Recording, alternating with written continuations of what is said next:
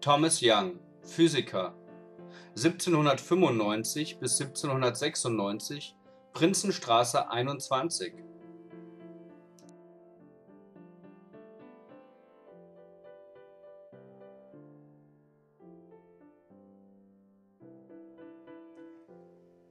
Thomas Young, Physiker Thomas Young (* am 13. Juni 1773 in Milverton, Somersetshire; † am 10. Mai 1829 in London) war ein englischer Augenarzt und Physiker.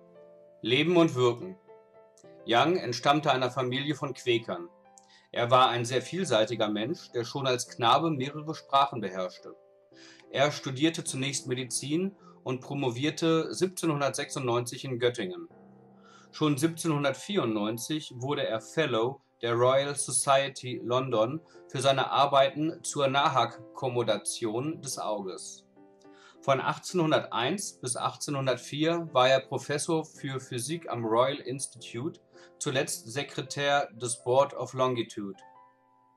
Young konnte als erster nachweisen, dass die Wellentheorie des Lichts manche Phänomene erklären konnte, die nicht mit der Korpuskeltheorie Isaac Newtons, die Licht als Teilchenstrom ansah, in Einklang zu bringen waren, zum Beispiel die Newtonschen Ringe. 1807 postulierte er als erster die sogenannte Drei-Farben-Theorie des Sehens, die Hermann von Helmholtz zu der heute Young-Helmholtz-Theorie genannten Theorie weiterentwickelte.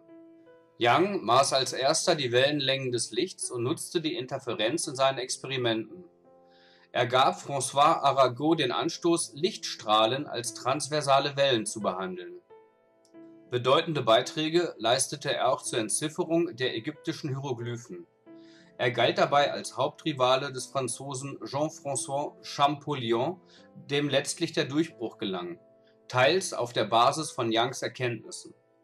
Beide ließen sich jedoch nicht von der weitläufigen Überzeugung der Gelehrten des 17. Jahrhunderts verwirren diese konnten sich nicht vorstellen, dass eine so frühe Kultur schon phonographische Zeichen verwendet haben soll, sondern gingen davon aus, dass es sich bei den Hieroglyphen um Ideogramme handele.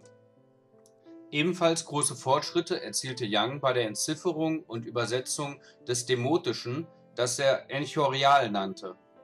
Wegen dieser Benennung wurde er nie außerhalb von Spezialistenkreisen zur Kenntnis genommen und die Entzifferung wurde Heinrich Brugsch zugeschrieben